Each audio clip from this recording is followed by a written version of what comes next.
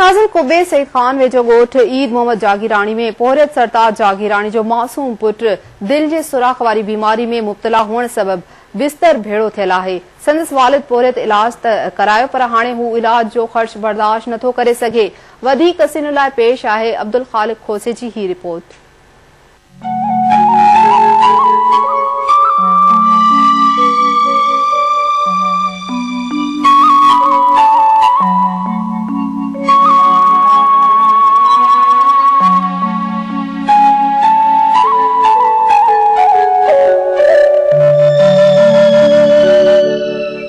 खुबे सईद खान वेझो घोट ईद मोहम्मद जागीराणी में पोरियत सरताज जागीराणी जो पंज वरनि जो पुटु जमशेद जागीराणी दिल के सोराख वारी बीमारी में मुब्तला होने सबबि घुमण फिरण खां लाचार आहे पोरियत सरताज जागीराणी आवाज़ न्यूज़ के ॿुधाए तो पुट गुज़िरियल पंजन सालनि खां बीमार आहे इलाज लाइ घर जो अलह तल खपाए छॾियो आहे पर हाणे हू जिगर जे टुकड़े जो इलाज नथो कराए सघे लाड़काणे कराची ऐं ॿियनि शहरनि मां नींगर जो इलाज कराए पोरियत लखे रुपया ख़र्च कया आहिनि पर उन बावजूद संदसि मासूम नींगर सहतयाब न थी सघियो आहे हिनखे तकरीबन पंजो साल आहे पंजायो आहे जीअं हिनखे दिलि में थोरा आहिनि डॉक्टर ॿुधायो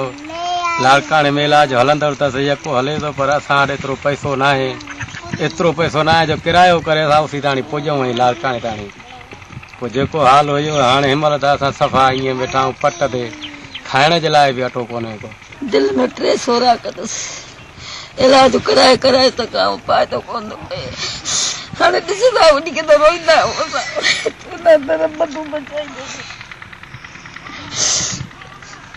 सोराख आहे रहवासी